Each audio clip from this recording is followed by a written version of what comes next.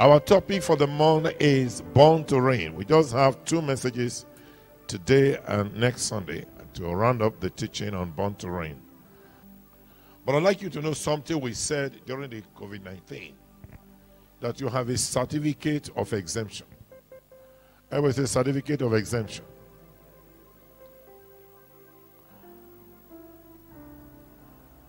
Are you hearing me? Hope you know God's people are exceptional. You are special. They are exempted from every satanic excesses. Anything Satan has done in your life or Satan is doing, you are exempted. The Lord wants me to pray for you to enjoy that exemption in the name of Jesus Christ. And I will be praying as I as I talk, I pray so we can close on time. Are you hearing me? So be ready to receive divine insight.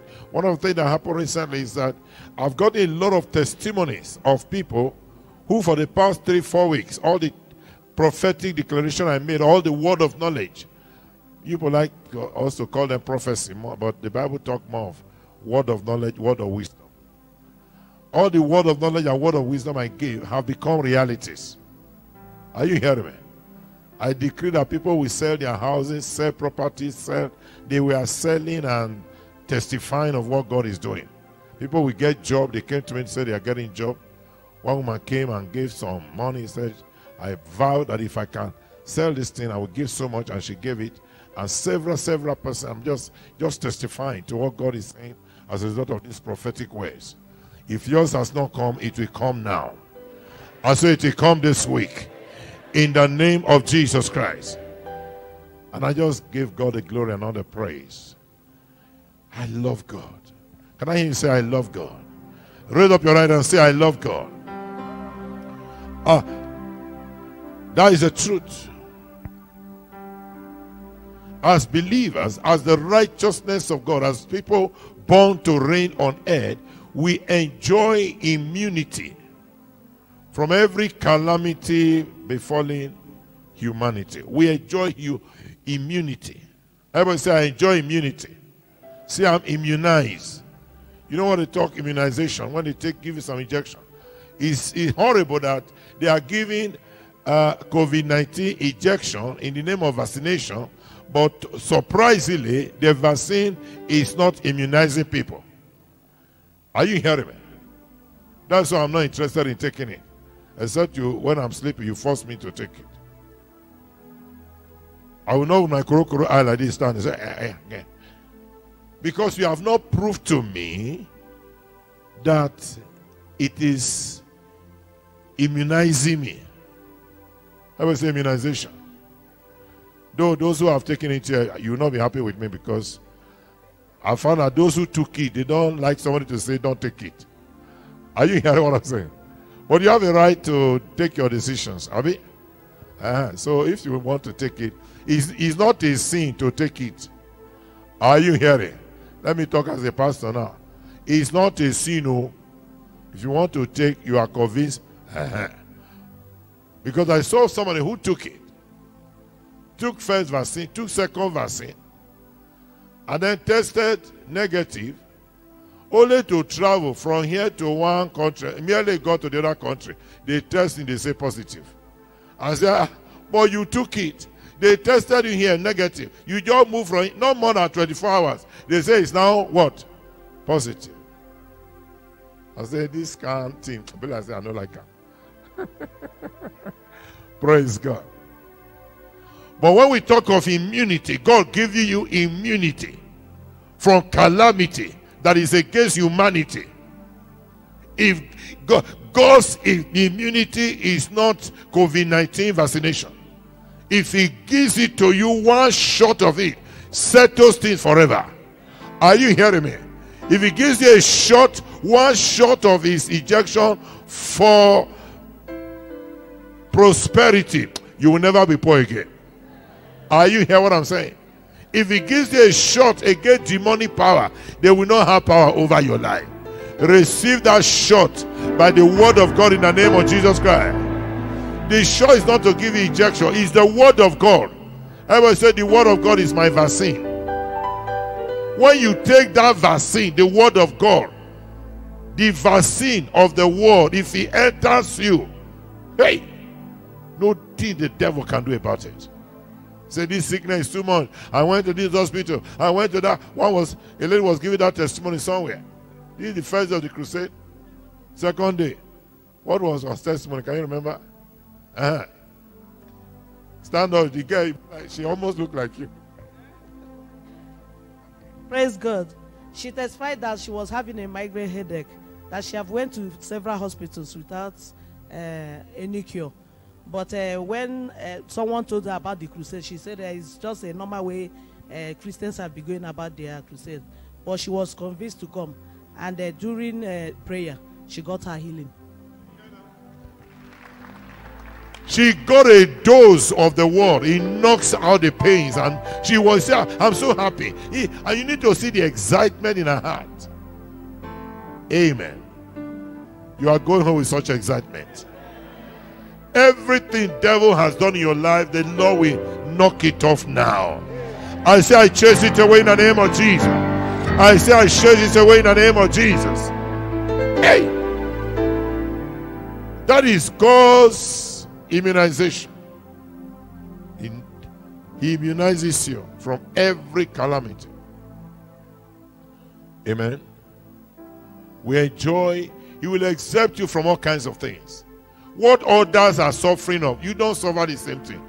He, he, he sets you free from evils, from sicknesses, from curses, from sinful lifestyle, from all kinds of addiction.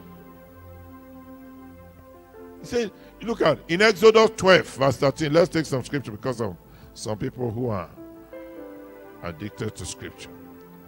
Exodus 12, verse 13 says, And I will severe Exodus 20, Exodus, sorry. Exodus, what did I quote? Sorry, uh, let me 12 verse 13. And the blood shall be to you for a token. Okay, I saw something else different. And the blood shall be for you for what? For a token upon the houses where, where ye are. And when I see the blood, what will I do? I will pass over you, and the plague shall not be upon you to destroy you when I smite the land of Egypt. There is a seal in your life. It is called the blood of Jesus. When that blood is on you, he says, I will when I see the blood upon you, I will pass over you, and plague shall not be upon you. So shall it be in the name of Jesus Christ that uh, every plague, plague means sickness, every disease, every COVID 19, every HIV, every high blood pressure, diabetes, none of that will be on you in the name of Jesus Christ. Why? I have the seal of the blood. Say, I have the seal of the blood of Jesus. Praise God. That, that seal is on you. The blood, the Bible says in Hebrew 12 24, he says, Speak better things than the blood of what? Abel. In the Old Testament, they used the blood of animal, but he couldn't do it. So Jesus came in the New Testament with his own blood, where that blood is a seed upon us. And when you the devil sees that blood on you, they tremble. Praise the name of the Lord. That is why we are in spiritually speaking, we are in Goshen. Everybody say I'm in Goshen. A Goshen is a land of safety meant for the righteous. You remember when Jacob left the land of Canaan to follow the son to Egypt. Then the Pharaoh said they should create a place for them, the Israelites. And they created a place they called Goshen. That was where they went and stayed. And while they were there, every calamity, when eventually that Pharaoh died, the Pharaoh that did not know God, no I uh, wasn't, Joseph, the Pharaoh came to power and then when he saw that the Israelites were growing beyond measure, the Bible says they became more than them. They grew and grew in Goshen. They became so many that this Pharaoh decided to punish them, deal with them. Gave, he set up tax masters, make them to be making bricks. And it was terrible. He was punishing and setting, destroy them. But then God said, I'm going to deliver my people from the hands of these wicked people. When they cried to God, God raised a Moses. And Moses went to Pharaoh after he had an encounter with God in the burning bush, that he should go and rescue God's people. He went to Pharaoh and said, Pharaoh, my, let my people go. Pharaoh said, No, I don't have respect for any God. They are going nowhere. He said, uh, If you don't allow them to go, calamity will befall you. He said, I don't care. And you know those calamities started happening. How many major plagues? Huh? Ten major plagues came. Do you know each of those plagues? None got to Goshen, where the children of God were. That God is not partial. If he did it then, he will do it now. Are you hearing what I'm saying? Everybody say, I am in Goshen. Hope you know that. You are in spiritual Goshen. So, all the calamity that were happening, none happened to them that was in Goshen. They marveled. So you are accepted. That's why we say you are born to reign. You are accepted from every sickness, every disease, every calamity, every evil happening. I say you are accepted in the name of Jesus Christ. It will not near you. Just have, if you believe the word of God, it will work for you in Jesus' name. God does not destroy the righteous with the unrighteous. He has never done it. So when he wanted to destroy Sodom and Gomorrah, he said to Abraham, Bible says, we God do anything without revealing to his prophet. Amos 3, verse 7. He said, Now let me reveal it to the prophet. I want to destroy this place. He said, Oh God, can I please talk to you? In case you see 50 righteous people, will you still destroy the place? He said, No. I'm sorry, I want to say another one. Uh, let me remove uh, 10 or 5. What if they are 45 or 40? What if they are 30? He said, I will not destroy, I will not destroy, I will not destroy. What does that mean? God does not destroy the righteous with the unrighteous. Are you hearing me? So when you see the unrighteous suffering certain things and calamities and evil, don't believe it will happen to you. You are different. Everybody say, I am different. Say, I am accepted. Enjoy your exemption right in Jesus' name. You know, some people, the confection they make is a problem. Something happen to someone say it will, happen to me. It will not happen to you. You are you are different. You are the light of the world. A city that is built on a hill cannot be hidden. You are different. It does not destroy the righteous with the unrighteous. That's why you, we said you are born to reign. You are peculiar. You are the royal priesthood. You are very special to God. Praise the name of the Lord. You are not like them. Amen.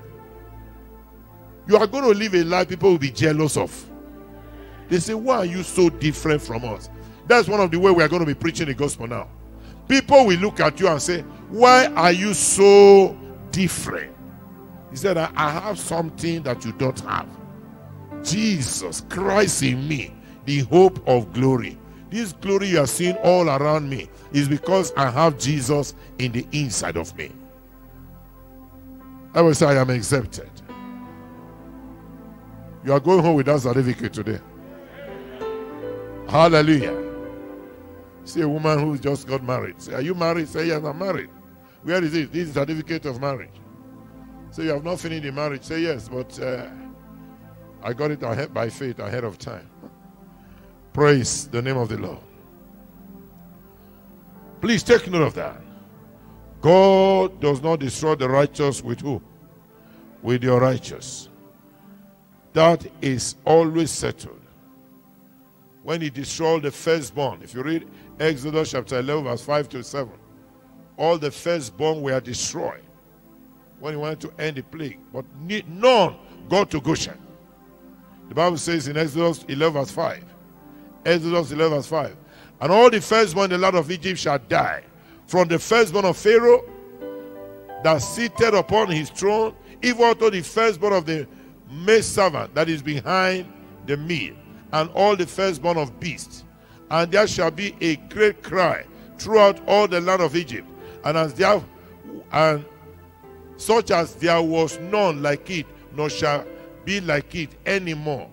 But against any of the children of Israel shall not a dog move his tongue, against man or beast, that ye shall know that the Lord don't put a difference between the Egyptian and what? And Israel. Those of them that were Goshen, he said nothing will happen to them. And it's the same God you are serving.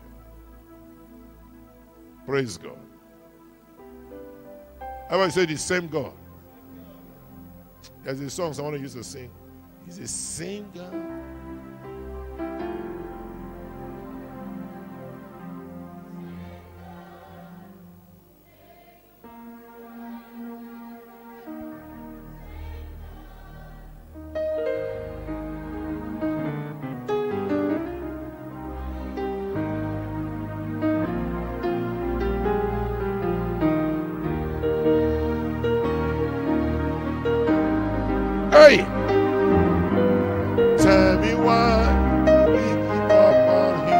Tell me why you will give up on such a God.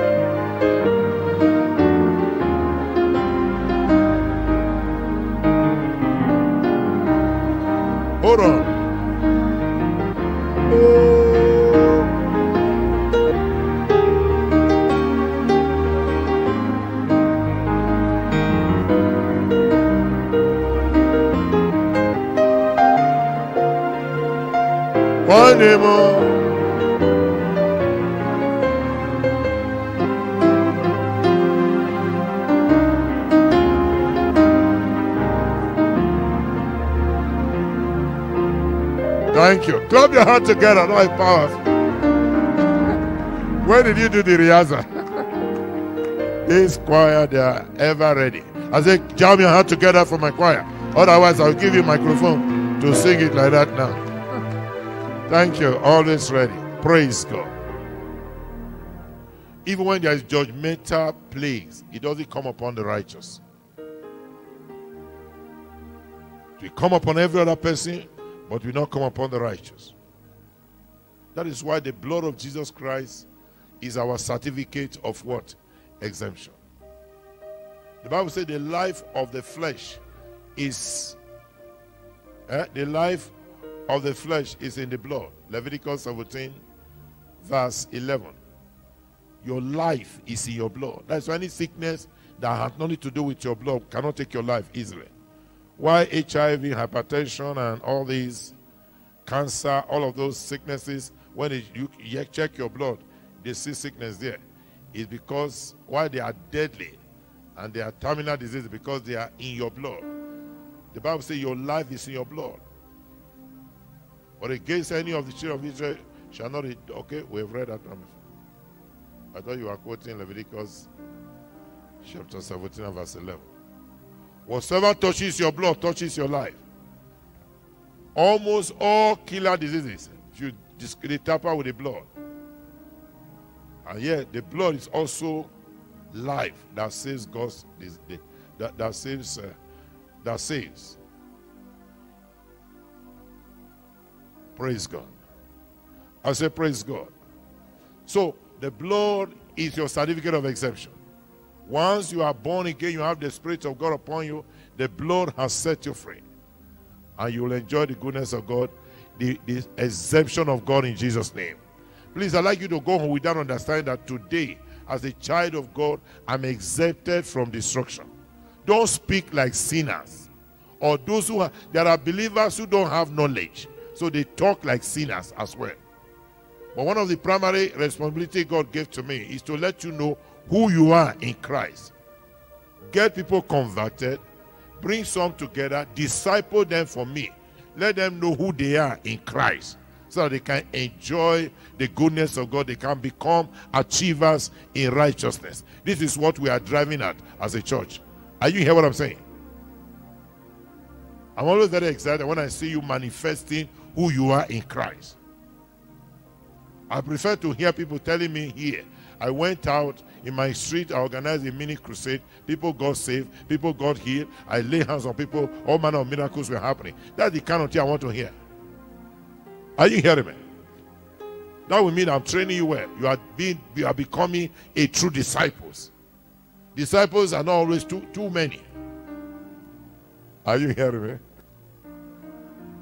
It doesn't take God any anything to feel here and jam here with people.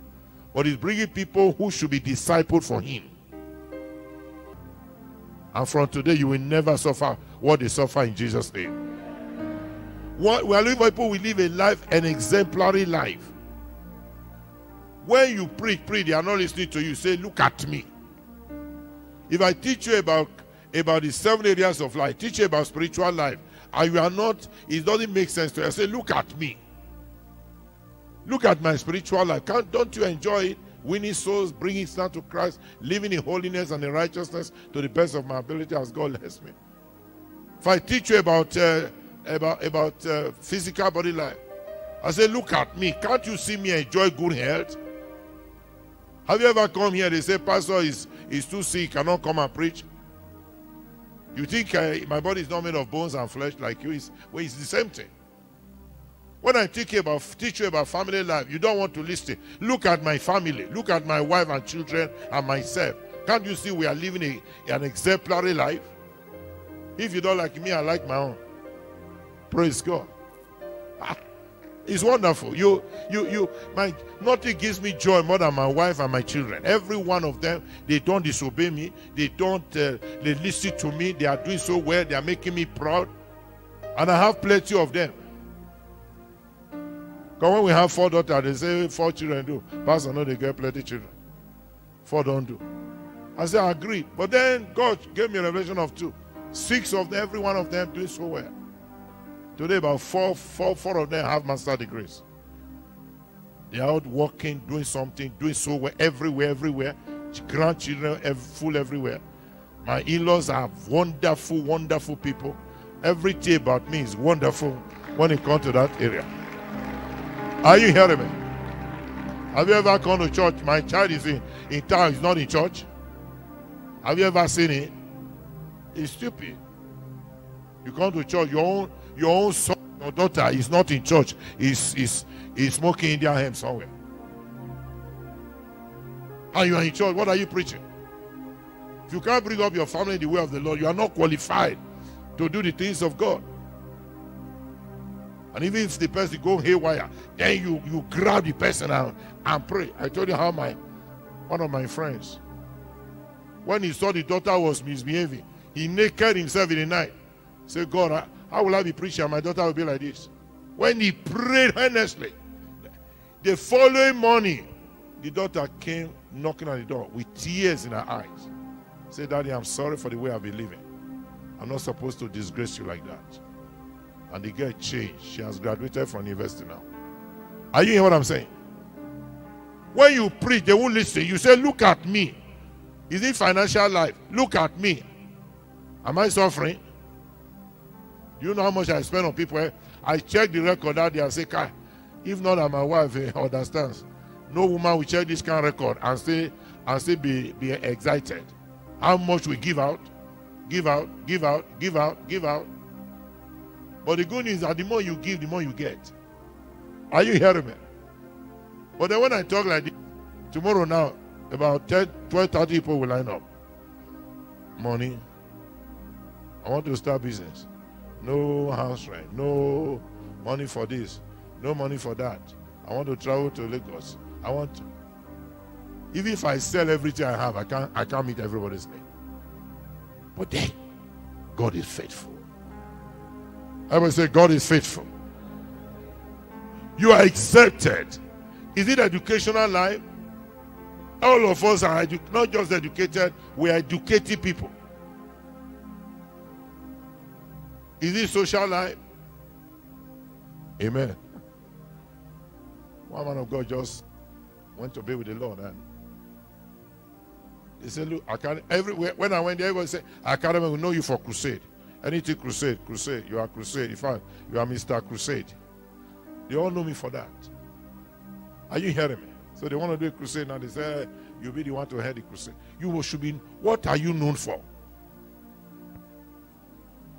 Or is it the last material life? I've, I've stopped paying landlord rent for a very long time. Praise God. I see God lifting you. I say, I see God lifting you. When we preach, they won't listen. He said, Look at us. Things will change. It may not continue like that. Things will not continue like that. You may say, Wow, look at what this man is talking. Where we now be like this, things are turning around for you now. Things are turning around for you now. That's why you are here. This will take a new shape. This will take a new stand. In the name of Jesus.